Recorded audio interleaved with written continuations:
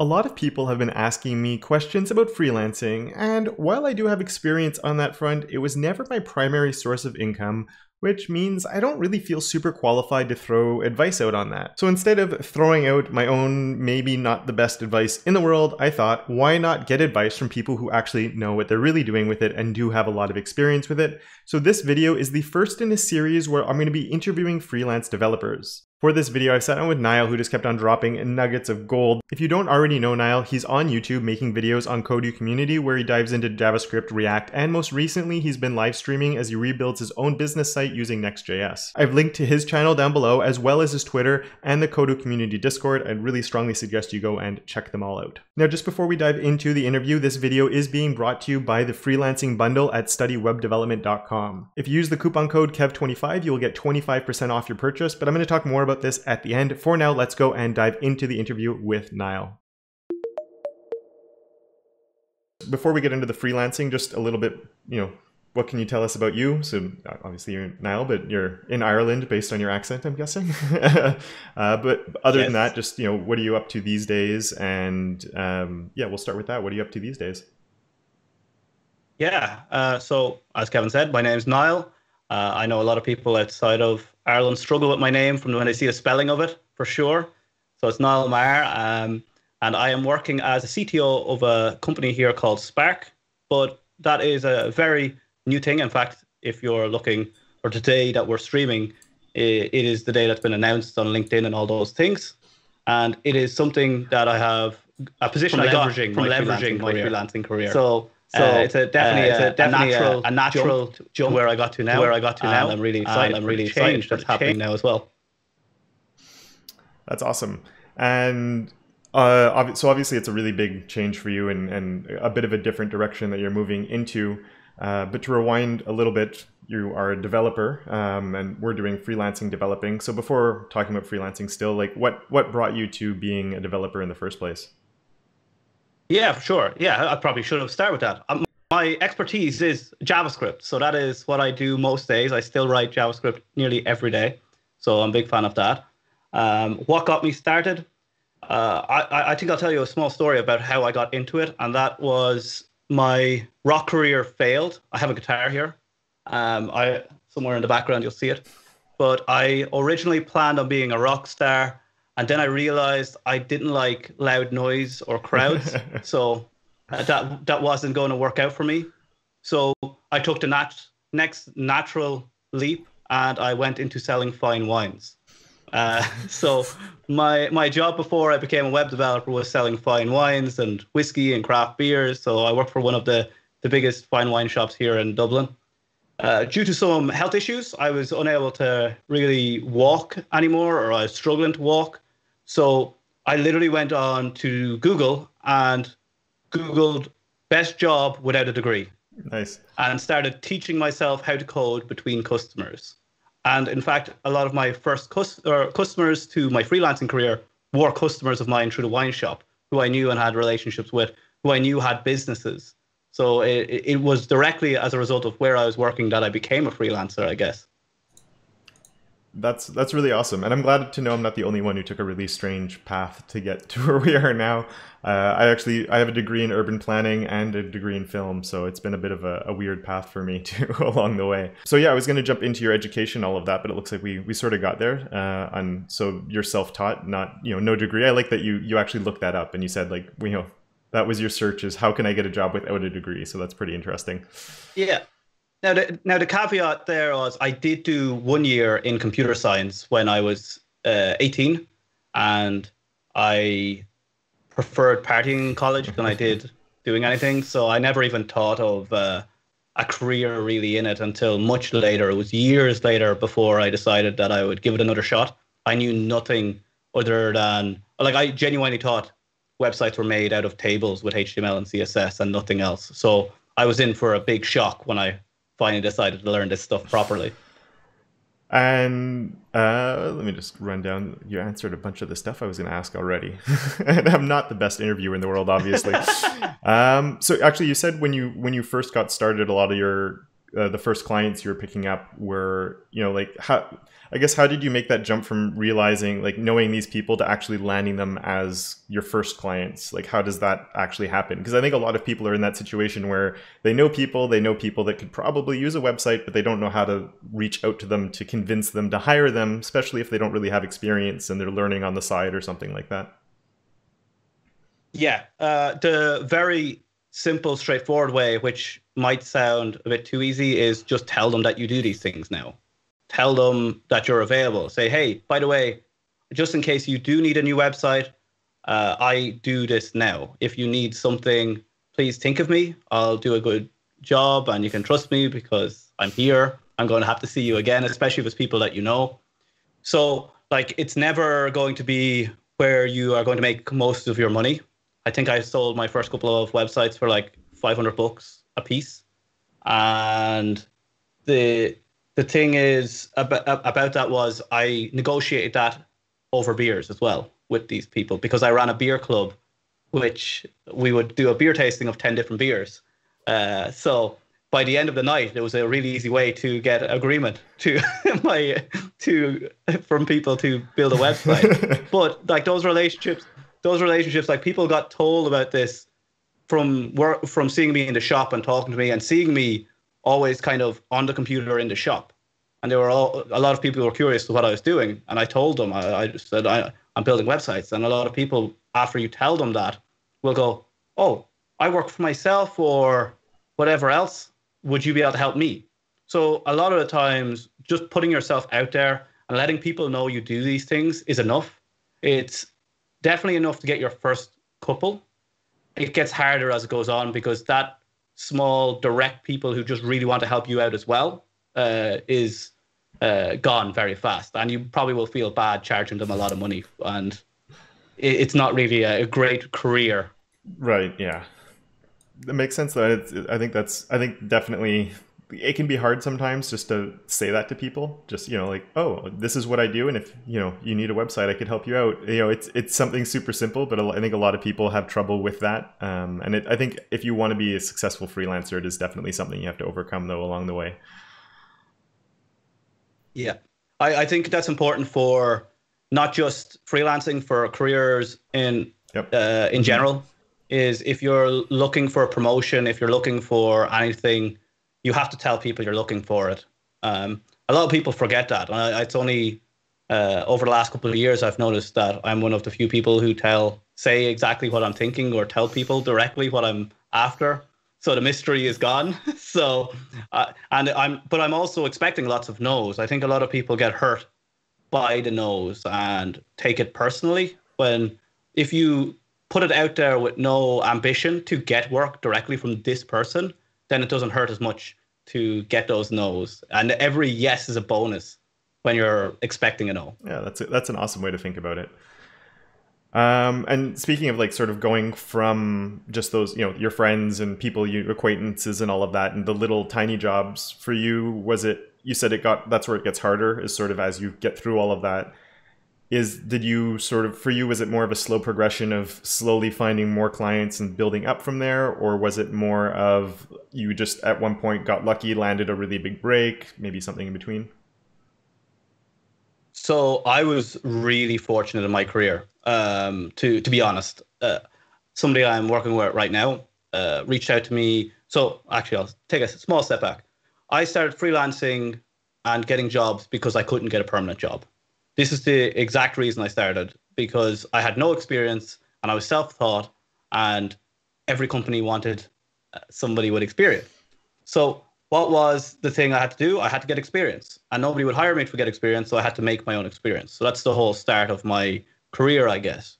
From there, I got a job working with a large company called Amdocs. They're an Israeli company that work with telecoms companies globally. And I was part of their firefighting squad, where we were sent to literally on my second week, I was flown from Dublin to Australia, Sydney in Australia, to fix merge conflicts between um, 100 developers. Wow. So in that job, I it was baptism by fire. I felt like I bluffed my way into the job and I was being sent all these places to fix things. And as a result, I got good at what I was doing very fast because I had to. There was no choice. It was sink or swim. And about nine months into that job, after working for about six, seven different companies, I got a call of a friend of mine now who said, Hey, are you interested in still doing your own thing? I have a contract that might suit you. And he said it was for this, they're looking for the senior on this thing. And as a result, I just went for it. I said, let's find out what a senior developer needs to know to get a contract like this. And I went and I met the the crowd. It was Bank of America actually that were looking for a contractor. And I went and I met them and I got that job. And since then, I had effectively just been set up my own business, started taking some contracts, but then started taking in clients on the side as well and building it out from there. Um, yeah, so it was definitely chance. I wasn't expecting, especially in less than a year of being permanently employed, to jump back into uh, working for myself. Awesome. That's really cool. And it, it's interesting, as you said, like the, I think just going back a little bit when you said you sort of bluffed your way, you felt like you bluffed your way into that, that job that you had. I think a lot of people, I think maybe that's one of the reasons people don't even reach out in the first place is because they don't know if they have enough skills or they don't feel like they have enough skills or whatever it is.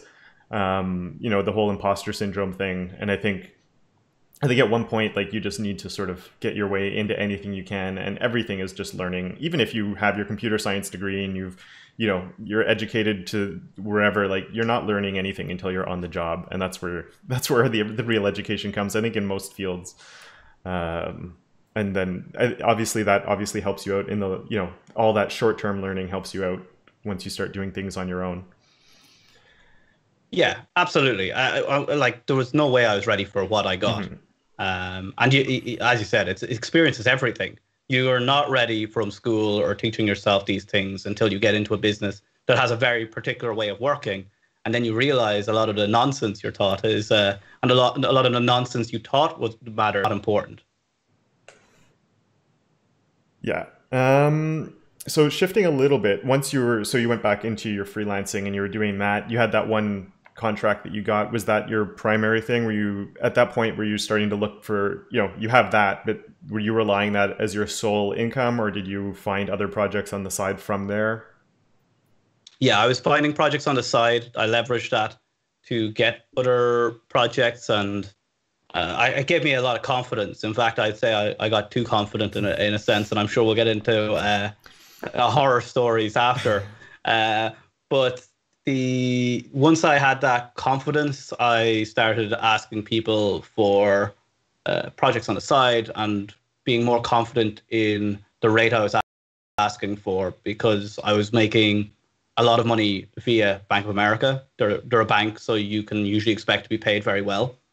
Uh, so then that set my own side projects or whatever I was taking on a side. It gave it a very a much higher rate than a normal, say, web design job would. So it definitely made me pivot and look after small startups that need kind of enterprise solutions or like real software rather than just a website. And that really helped me put a premium price on things as well. Nice. That's, you know, you said it maybe made you too confident, but I think being too confident in pricing is never a bad thing. I think that's somewhere people usually, it's the other way around. So that's definitely a, a good a good thing to have early on is to charge what you're worth. Yeah. Um, so when you were, you know, obviously if you had your big contract plus you're doing other work on the side, just sort of like day to day. I think at one point, like a lot of people, I think if that aren't freelancers, they sort of look at the world of freelancing as this sort of this amazing thing. You're your own boss. You get to do your own thing. Uh, but I'm sort of curious when it comes to the, the managing of your own business, like how how that would go from like how much time do you actually spend doing development work versus managing your emails, doing marketing, your accounting, like all of the stuff that people never really think about uh, that aren't active freelancers. Oh. Yeah, so I think the one of the biggest lies I ever told myself was working for myself would mean I'd work less hours. So I probably worked double the hours than the normal person, but I enjoy what I do. So it, it never felt like work. And I often tell people if you really enjoy what you do, it's not really working. It's like I can outwork most people because it's play to me and, you know, we can play all day. There's, it doesn't feel like it's a struggle or I'm suffering to do what I do. So that really pushed me forward as well for for my, I suppose, getting things done. The for how much time I actually spend coding, it's probably about half my time, at best, because especially as it got a little bit later on into slightly bigger projects and things, I would have to get freelancers and other people to help me. It, it went from being a solo job to multiple people for the bigger projects. And to do that, you have to spend a lot of time finding the right people, looking after those people, and then looking after the businesses to make sure you have requirements right to build the thing out. So, like a project might uh, take 12 weeks for me to deliver, which is usually as long as I will take for a delivery, but it's a lot of work to plan for a 12 week process. Awesome. Um, and actually, I'm I'm kind of curious on that front of the like looking when like how do you know when you actually need to start looking to hire other people? Like what at what point does that you sit there and go, okay, I can't do this on my own? Was it just the scope of some of the projects you were deciding to take on and you sort of knew before you took the project or were you already working on the project and you decided at that point I can't do this much work on my own? So I learned very quickly from uh, underestimating projects that my process was broken.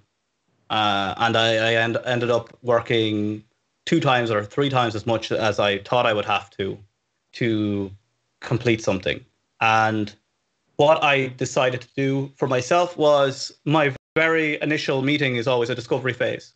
So I spent some time, and I, I sell this as a service with a lot of people, is uh, getting the groundwork in place, making sure that the the plan is in place. And once we have a plan, it's very easy to say yes, I can do this, or no, I can't. And I sell it as a service, so if somebody's comfortable, say, hey, let's test this relationship first with some discovery work. Let's spend two days together. Let's dive down, and I'll give you all the requirements. So at least if you go somewhere else, you'll be able to get a much more accurate quote, and you'll be much faster to get started. So it's a it, there is a a way to sell a discovery phase, but I think it's for anything that's not just a simple marketing website, it's necessary, or else you're going to end up underestimating so many things or forgetting certain things, or your customer is going to forget things. And the the idea that you want or that transactional thing is very bad, I guess, when you're you're working this, especially if you're solo or working nearly solo, because if you burn your bridges or if you don't make people happy, especially here in Ireland, we have a very small market. Uh, word gets around fast, so your word is your reputation. So you have to keep that reputation high. So you nearly have to over deliver to make sure that the clients keep coming in. Um, so that I need to do that discovery phase. So I think that you, you sort of hinted a few times now at, at um, underestimating, I guess maybe more so earlier on than as you're going through. Does that lead a little bit into maybe one of the sort of some some bad disasters or something along the way that happened, or? Yeah, uh, my very first contract that I got, which I felt like I was printing money, I um, got a six month contract there. Um, I went from, and I'm always very transparent with money with people as well. I went from earning about 40k a year to 100k a year or 110k, I think it worked out in euro a year in less than a year. So I obviously thought it was unlimited and untapped. So I, at the end of that contract, they offered me another 12 months. So I did the same thing every reasonable person does. I went out and bought a sports car.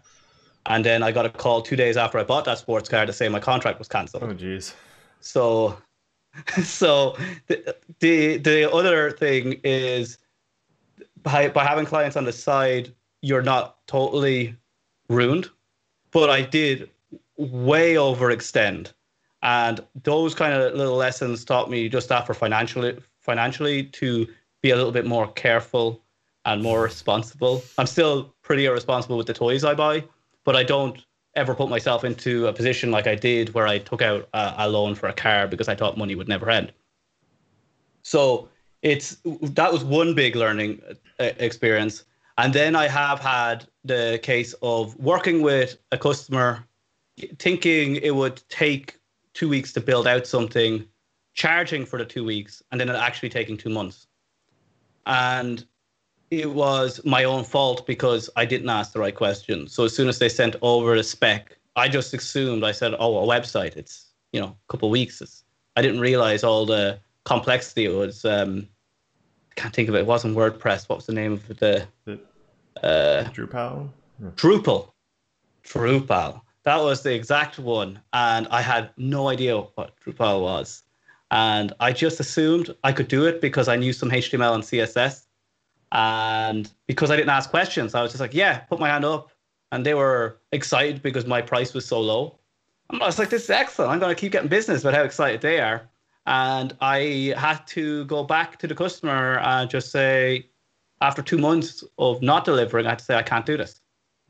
Um, so I didn't even get the two weeks' pay that I hope to get um, after two months because I just overextended. And that goes back to why you have to be very careful to do the questioning early on, find out what is expected before you ever sign a contract. Get those jobs to be done in a list so everyone knows what's completed or completable.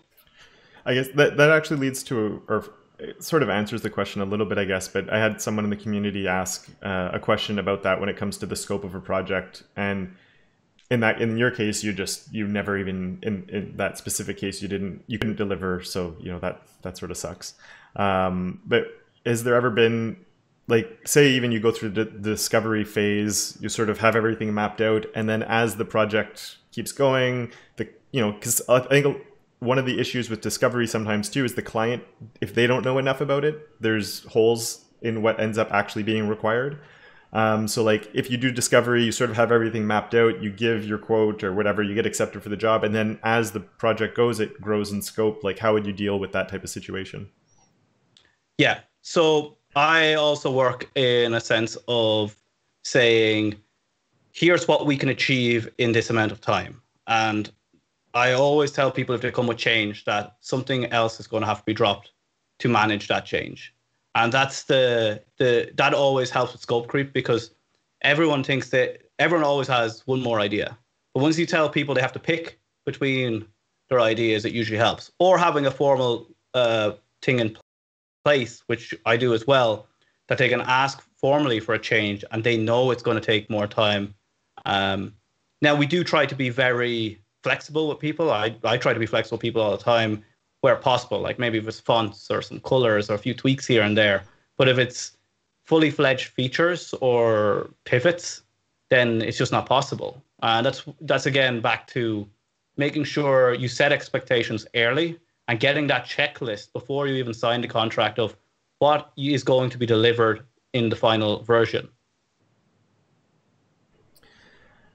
Um, circling back a little bit to when you you had your your first big contract you're finding smaller ones on the side as well. And luckily as you said it's good you had those because when that the big contract disappeared at least you weren't left with zero because i think that would be everybody's nightmare.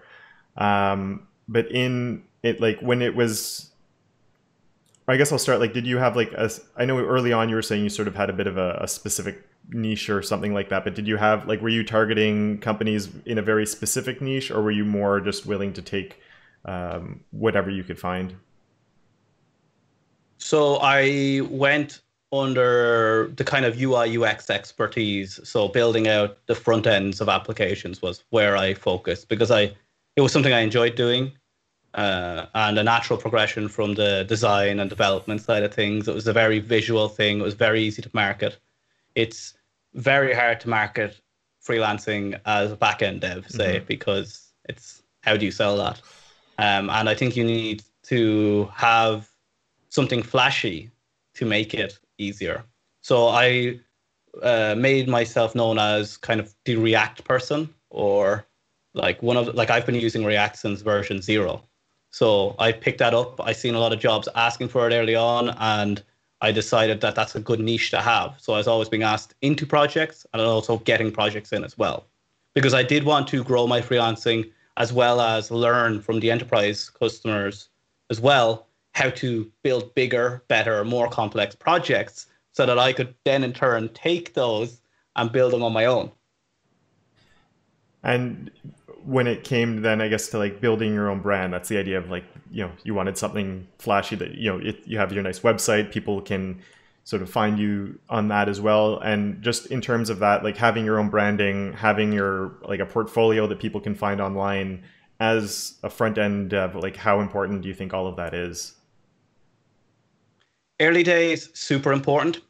My uh my whole career has been based on my referrals mm-hmm. i think at this stage and what i do which is probably going to lead into like how how would I do this? How do I generate leads? Is I never got much traffic to my websites. I got, I think, one email from my website ever. So it just wasn't it wasn't useful at all. What I did get a lot of referrals from was going to business meetups and helping people with questions and answers. And that's how I uh, that was much more important than any portfolio for me personally was being in position that you were able to talk to businesses directly. Um, it's so hard to beat Google on SEO and everything else. That's a whole other mm-hmm. job. So I think the the the better approach for me personally was always going being present where the businesses were, so that they would look for me or ask me a question. I could teach them something, and then in a couple months, it might leave me a couple, might be a couple of years, but they'll go, I remember that person was really helpful. I'd love to work with them. So it is a lot of investing your time that eventually comes back. And for me personally, my portfolio never could be shown that well until I had an NDA signed because I did it for a lot of uh, clients who I couldn't show the work uh, publicly. So I really needed to have that w- relationship ready so that somebody was comfortable getting the NDA signed, and then I could show them the inside of all the things I've built. Yeah, that's really interesting, and that's something I think people always think about uh, when you, you know when you're when you finally do get those the clients that you've always wanted. That it comes with the NDA that you can't show the work that you've done as, as proud as you are of yeah. it, and them, as much as you want to show it off. Yeah. Um, yeah. And actually, so I mean that answers a whole bunch of the questions that I had just about, uh, and I think that's such an important thing that you bring up. Is so much of it comes down to having personal relationships and not just being some person that's online and hoping that people find you. Uh, as you said, like trying to juice, you know, Google, and you know, you'd waste so much time trying to get into the results of something meaningful and maybe get results. Whereas if you're actually making connections with people um, I think that's where where for freelancing anyway, that's where it's at. And even I think even if you're in with the job world, I think making personal connections is really important as well. Yeah, well, I, I think uh, I built a brand as well. I think it's important to do mm-hmm. both. So I think it's important to build a brand so you're trustworthy and you're not just a guy that builds websites. Yes. Um, because if you're going to try and get any like if you're going to charge some money for this, you need to have the insurance, you need to have a name behind you, you need to be able to give out contracts, you need to have that professional outfit. And by having a brand, you're also able to outsource some of the work. You don't become a bottleneck. Sometimes there's low hanging fruit and you can take in work and outsource it a little bit as well, which helps pay the bills and continue things running. So I think by not basing your entire freelancing career on your own persona, is going to help you. And in fact, that's where Codu came from. It was my own business, Codu Software Solutions. And then I just decided that I would turn it into Codu Community because I was meeting so many devs um, in Dublin here. And I just wanted to show or do better meetups and things. So it, that was never a marketing avenue for me. And in fact, I think it confused a lot of people because if they search for Codu, they'd usually stumble upon the community aspect rather than my right, business. Yeah. so I, I ended up shooting myself in the foot on that one. Um, and actually, on that, like when it comes to, I guess you know the difference between landing like that day to day, you know the the acquaintance or somebody you know or someone you run into, and sort of the bigger corporate accounts that you were talking about. I guess that's really where the where having the brand and having all of that come is is a big thing because obviously you need that presence uh, if some if a bigger account is you're going to land that bigger account uh, along the way. Yeah. Absolutely, and and I think that's something people need to and should aim for is getting the experience so that you can charge more yourself. Because I feel like a lot of people kind of stunt their own growth by not reaching a little bit into the realm of discomfort. They kind of stick to what they know. Uh, I'm a big fan of always biting off slightly more than I can chew and then running with it. Uh, speaking of the realm of discomfort, pricing is always, I think, one of the, the questions I get asked the most. And I think it's, for me anyway, it's something that's super hard to figure out, even for myself. Um, so when it comes to pricing, I think before I let you run with it, just I've seen so many different approaches to pricing. You have, you know, just come up with an hourly hourly rate, estimate the size of the project, run with that. Uh, there's the whole value-based pricing. There's other things that are, you know, project-based pricing and everything in between. So just curious um, when it comes, I guess, your general philosophy towards it and maybe how you got to that point. Uh, yeah, so there, I, I use a combination of things. So we have the value based pricing, which is huge for me because uh, sometimes I know I, this is going to bring in a lot of uh, money for a customer, and that comes in with the discovery phase. You can figure out very quickly, go, oh, this is going to uh, be worth worth a lot to them, and uh, so I think value based pricing is one of the better things to do because it keeps you hungry and it keeps you looking for better customers as well. The easiest way to do it is having your day rate because it becomes a, a black and white uh, yes or no uh, in the sense of it's just a high contrast. Have you hit the threshold to pay me for my daily rate? And if you have a daily rate, at least you can say this project will take two weeks. Here is my daily rate are you comfortable with mm-hmm. that? And if there's changes, it's going to cost you another X because it's going to be another couple of days. It's very easy to change things on the fly that way once people know your rate. For me and the pricing side of things, something I I can't remember what book I read it in, but this is something I used for when I used to run my beer club because that was actually a, a paid uh, event, and I was one of the most expensive beer tasters in Dublin, believe it or not. So people would actually pay to come drink beer with me. So that's, that's, a, that's a good job to have. How do I get that gig? yeah. So, but in there, because I remember there was a one, there might be two now, but at the time there was only one official beer connoisseur in Dublin, Ireland, and he asked me himself. He said, "How do you charge that much money?" And my answer was very simple. I just picked a number that was slightly uncomfortable and asked for more. Hmm. So I made sure I was already uncomfortable and then added on a little bit more because there's nothing worse than getting exactly what you wanted. Uh, and the reasoning is the excitement wears off very fast. You you know you land a project and the excitement will drop. You you know the there is a a bit of excitement in the chase to to an extent. And as soon as you get into the middle of the project and things start getting tough, it's going to be hard to keep going. So if you feel like you're winning that whole time, or you feel like you've pushed your own expectation of what you are worth up a little bit, it's going to be much easier to stay motivated through the process. Yeah, that's awesome. I like that idea. The the pick something uncomfortable and then go up from there. That's that I haven't heard someone say that before, but that's I think that's awesome advice. Um, and I think in general, yeah, I like that idea a lot.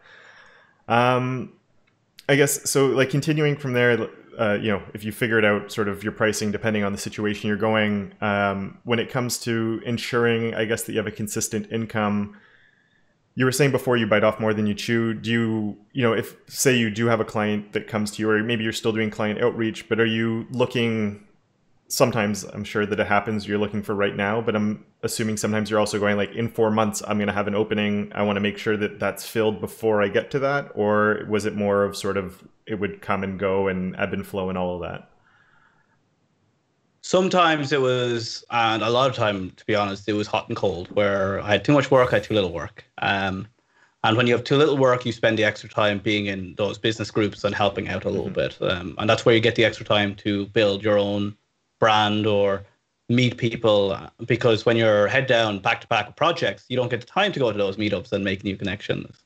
So, th- that, again, that's why it's important to price for when you're out of work as well although this might be a good uh, price now. When you're not working for the two weeks that you're, you know, getting other deals signed, make sure that's factored into the whole pricing aspect, uh, because it is difficult to keep a constant uh, stream in.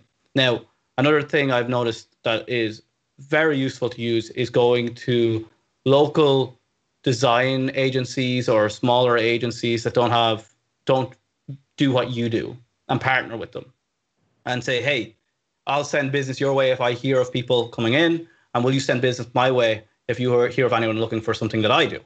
And that way you have some referrals coming in as well at the same time.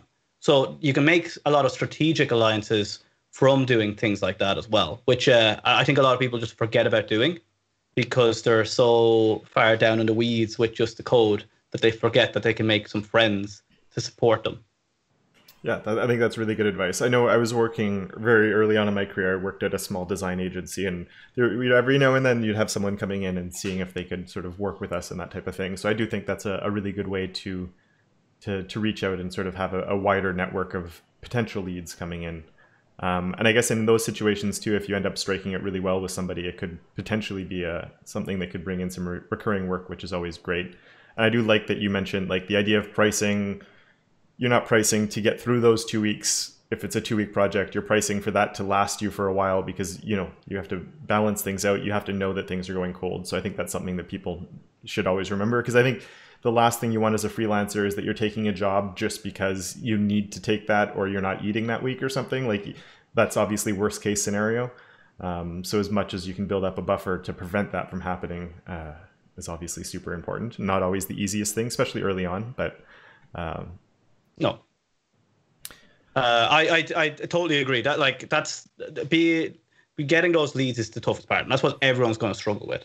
So, uh, but other than partnerships, get into business meetups. Um, you as a freelancer, people forget this as well. As a freelancer, I think a lot is you are a business, so you are have the right to be in those business groups. And believe it or not, you might learn a lot from other businesses yes. on how to successfully run your freelancing mm-hmm. business. And not only that is as you make a network in those business groups, people will want to give you work. And this comes back to people buy from people they like. This was the same thing was when I was selling wines and things. Is that nobody cared about, hey, it's red or white wine. They bought the story. They buy the people. So if you tell the people about a bottle of wine that was made by a monk uh, in the mountains, they just want it, and that's why it's an 80 euro bottle. Is it worth 80 euro bottle? No, but the story is. So that's the whole point. If you can build that personality and brand around what you do and get that network, it's going to be much easier to be confident about what you sell and how you sell it as well. That's I like that a lot. The story. It's definitely the story that sells. I think on everything in life. Um, and on that idea of finding leads and all of that, uh, I know in the chat there was some questions earlier on, and I think I had some from the community as well about online, you know, going online for leads. From there's like freelancer.com. Um, there's some other ones. There's obviously Fiverr. Uh, any opinions on any of those for someone who's looking at starting their freelancing or actively freelancing?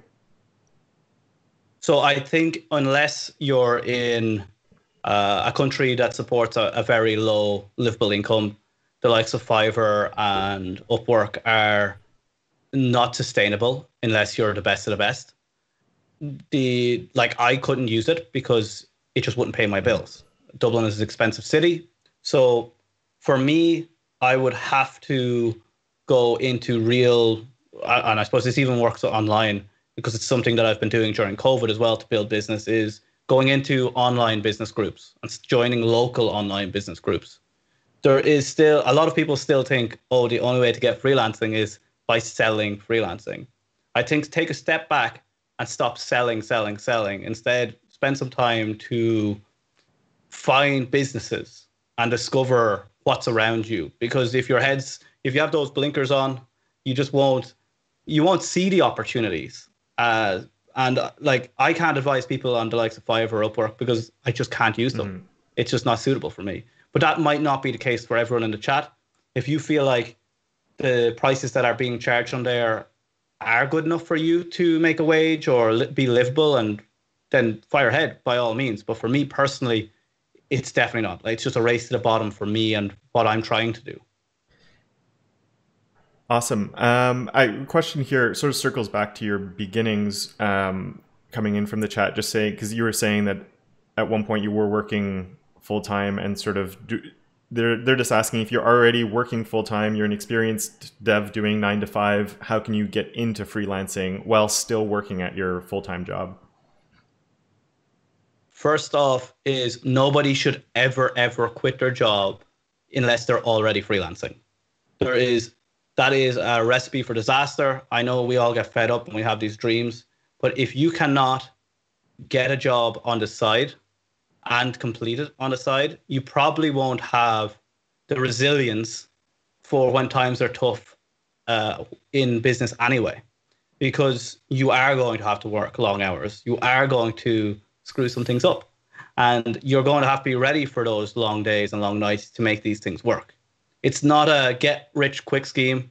It's probably not even a get rich scheme. so it's uh, it's definitely just for people who want to have a I say uh, for me personally, it was a better sense of fulfillment because I felt like I was doing it for me and not doing it for a boss. Uh, and I think that's important, even with my my newer positions, and that it's I I have I have to be working for myself, or like I have to be seeing reaping the benefits from working so hard, and I feel like I definitely am. Um, but I think that's what people need to be ready for: is make sure you have a a portfolio built before you ever leave that job. I would say two or three jobs and have a cushion of three months of your bills being paid when you go out to freelance. Because you might have a project lined up, but what happens if immediately you jump in and that project gets cancelled or the, the customer runs out of money? And you might think that'll never happen. I did too. And it left me in a tough spot. The worst case scenario can happen and it often will. So be very careful that you don't just dive in and assume that things will be okay. I don't care how good of a salesperson you are, you will still need to make sure you have a little piggy bank to be ready so that you don't just, uh, as you were saying, Kevin, end up taking jobs because you need to survive rather than taking the jobs that you're really going to enjoy and be fulfilled along the way. Awesome. I think that's some really very sound advice. Um, I see here in the a few people in the chat, and I had this in the community too. I see Alex and Viraj asking. Um, I think I know your answer already, but um, and it sort of continues from there. You have if you have that income that you can rely on and all of that, or if you're in a situation, you know, I think some people starting up are also in a very if you're young and you're just getting into it all and you don't have a lot of expenses yet, can also be a nice opportunity if you think you can make it um, or if you're working just at a regular job and you want to start freelancing and you can sort of balance that, I think early on in your life, it can be a nice opportunity too, as long as you can afford to not be getting consistent work. Um, but anyway, back their their question is, how do you know you're ready to freelance? And I, have been asked this a lot. I um, I think I know what your answer might be, but I'm just curious. Uh, I think you're ready straight away, uh, depending on what you're doing. So if you know what you know, it's hard to know what you don't know. I guess yes. is the, yeah. the hard part. And that's why I said earlier about always biting off more than you can chew, because you will also need to develop your skills as this goes along. For me, working in big companies and finding out how businesses worked was how I learned how to become a better developer and better as a, a business, really. Because a lot of people just say, and I, I might be cautious here because I said earlier I my niche was React. That just I never went to a business and sold React. When people came to me, I sold them a solution. I just happened to have this hammer that I was really good with that could get things done really well, and people were really happy with it. So, you, like if you have something you think is valuable, and that could be just HTML and CSS, maybe your expertise is going to be building emails for people straight out the gate. Maybe that's what you're you're uh, going to be selling to people. Simple HTML, CSS emails that work uh, across lots of different email browsers. There's a niche that a lot of people don't even look at, but it's something that people need. A lot of big businesses would kill for that kind of expertise because it's a tough job. It's just a different kind mm-hmm. of tough. Yeah, that's awesome. And uh, yeah, I think that, that's sort of what I was thinking too um, in that you're you're probably ready, and then it's just all uh, from there. I see that HTML emails, dear Lord, RIP to the freelancer. I know. You know, unfortunately, when you're starting, you have to often try a lot of different things. Nobody said this was going to be a, a glorious, fast tracked way, but if we're talking about somebody that's just fresh off uh, free code camp looking to try and make a few bucks, it's it's something you can do. Oh, hey, Jay, I see James there in the chat. Hi. It was a while ago he mentioned it, but welcome. Um, one a good question actually here from Fad saying um, when you're just starting up, like, and you're you know you don't have any actual work experience yet, and you're looking at including things in your portfolio to show to people, like what you know if it's a personal project or something like that. Like, do you have any, or even you're hiring these days, like, and I think right now you're hiring more senior um, devs, but you've hired in the past as well. Like if somebody was coming that didn't have a ton of experience, uh, or even from your own, just like what type of work would you show if you're just getting started in the game? Yeah. So I'm going to tell you what I did because I could not get any interviews with my personal projects. So I went and registered myself as a sole trader under a different name called Web Apes. So I used the company, I didn't use my own name and I just had a section of my projects that I was working on under Web Apes. And then I, had the projects done, and the few couple bits I'd done for websites for people, a couple of free websites in there and everything else, it was under a business name suddenly. So it got by the HR person. And that's all I needed. I just needed that little break. So I would say to anyone to, to kind of fast track it uh, or uh, a job hack is to instead of saying, hobby projects or things I'm building is try to flesh it out so it looks like an actual project and put it down as say R&D research and development for your own business. And it will at least get you through things because that's the hardest thing. A lot of times you're not getting if you're not getting interviews because they're not impressed by your cv so i i noticed that. And as soon as i changed a title it just went from personal projects to web apes. And once I changed that, interviews started stacking up. Yeah, and you, you have to be careful with the wording, yeah. of course. Like if you if you're don't and I'd often say this to people, don't put things videos you followed along. Like if you're following a tutorial mm-hmm. with Kevin or if you're following a tutorial even with myself, and that's what you built, don't put that on your portfolio because it doesn't really show any value other than that you can copy and paste something. If if I and especially now that I I know the likes of yourself, Kevin, on that, I'm very aware of the content that's out there that's being built. And I do get it every so often where people will say, Hey, I built this thing. And I'll just instantly know that they copied and pasted this from your own repository or whatever mm-hmm. else. And I, I, can't take it.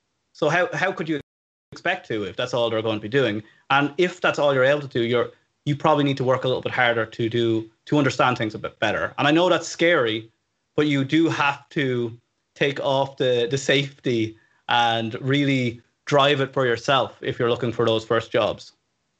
Yeah, definitely. I think yeah, if, if you're as you said, like when when are you able or going back to that question of when are you ready to start? It's I think at that point where you're able to build your own projects without you know copying and following along with the tutorial. Um, I think is an important thing. Um, a few other questions and I'll let you go. Uh, there was a few things that came up about security and just like website security and stuff about hacking and all of that. I don't remember the names, so sorry for the, everybody who was asking on that front. Um, and I think we even mentioned earlier about like SEO, that's just a completely different game. So like say you are working on a project or you bring something on, there's obviously parts of that that you're super comfortable with, and then other parts that aren't your expertise, and sort of how do you deal with that side of things uh, if you're not and if you're not too you don't know too much about the security side or the SEO side and that's something the client might be looking for. Yeah, that's where you have to be prepared to factor in bringing somebody else in as well. Uh, I often factor in for uh, even currently, I'll often get a third party pen tester in to make sure that my project is uh, as good as I think it is. So that the that that's the big uh, thing I would say for for me is to be ready and, and factor this in. Like if you really want to impress somebody, give them their app and then also give them a report showing them the pen testing from an external party. That's a lot more impressive than me saying, yeah, it's good.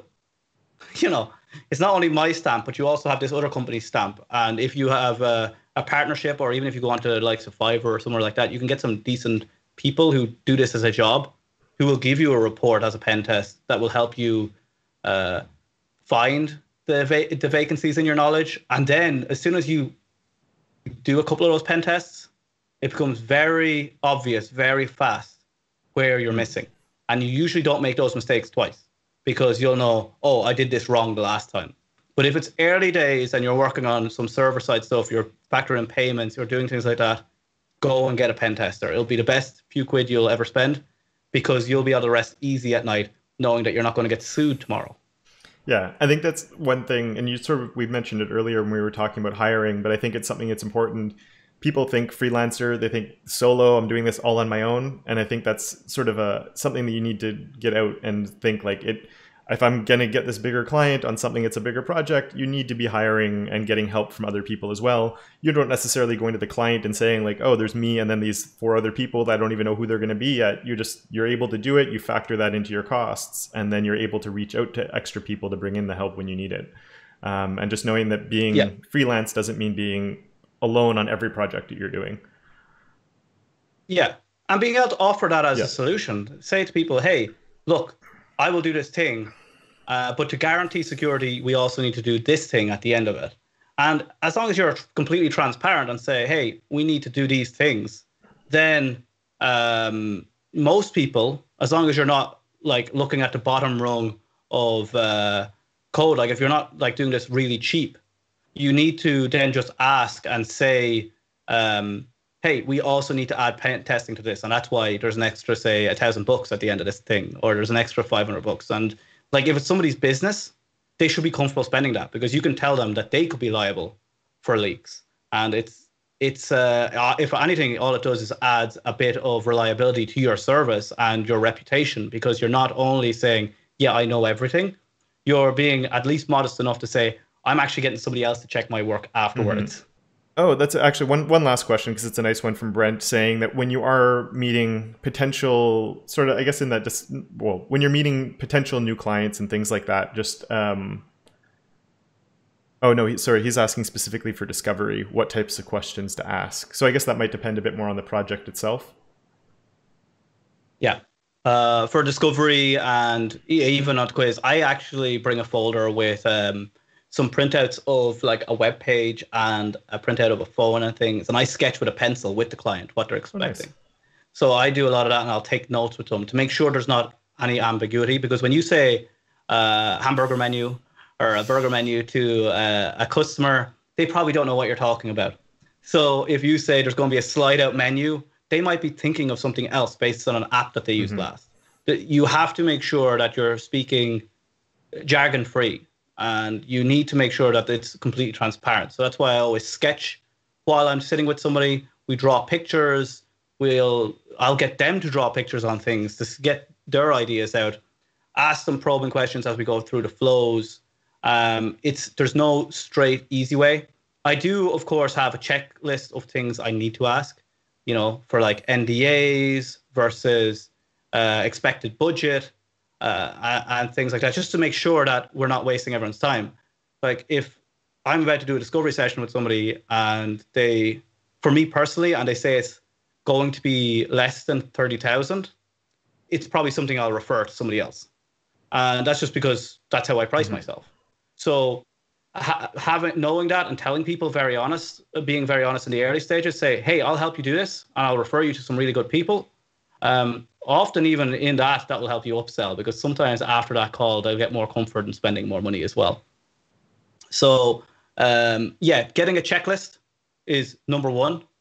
And then for a discovery session sitting down and getting creative. Have some fun. Enjoy it. This is the best chance to really show what they get for having you as a person rather than any other person uh, and I I think that's what I try to do more than anything is I always try to make sure there's at least some laughing and joking involved in the process because I have and, this is why I have so little horror stories as well. My my big advice to everyone when you're looking for customers later on, you maybe you can't be so picky uh, early in your career is would you have a beer with this person?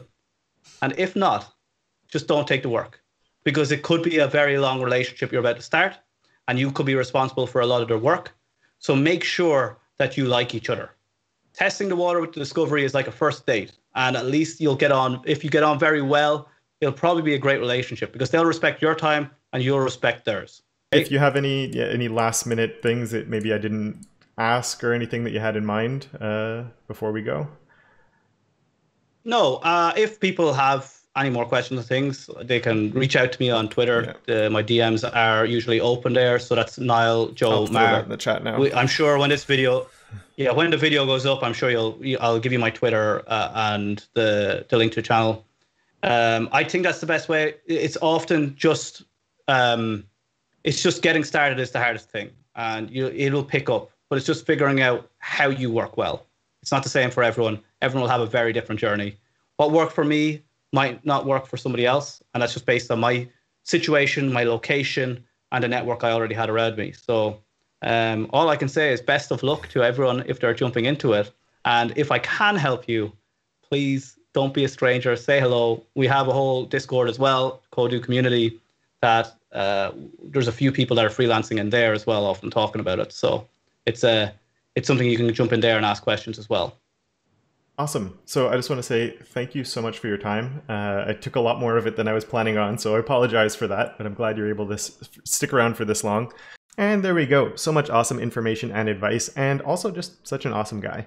Again, I've linked to his Twitter and Discord in the description, as well as his YouTube channel, so make sure that you go and give Niall a subscription, follow him, check out what he's doing there, some really awesome stuff. I try and hang out on his live streams when I can, and I always, always enjoy it. Now, as I said from the top of this video, this series of videos where I interview freelancers is being brought to you by StudyWebDevelopment.com's freelancing bundle. It's a ton of fantastic resources for developers and designers covering the fundamentals of freelancing, things like creating income streams, writing proposals, pricing, finding leads, finding clients, and much, much more. As Niall mentioned, discovery is super important, and the bundle includes a questionnaire to help with discovery, as well as proposal and invoicing templates, website templates to help get you started and work faster, as well as lifetime updates. If you're interested in the bundle, the link to it is just down below, and don't forget to use the coupon code KEV25 at checkout for 25% off. A big thank you to StudyWebDevelopment.com for helping support my channel and bringing us this series, and even bigger thank you for watching this video. I really do hope that you enjoyed it. A massive thank you to my patrons for their support each and every single month, with a special shout out to Zach for being my enabler of awesome. Once again, thank you so much for watching, and until next time, don't forget to make your corner of the internet just a little bit more awesome.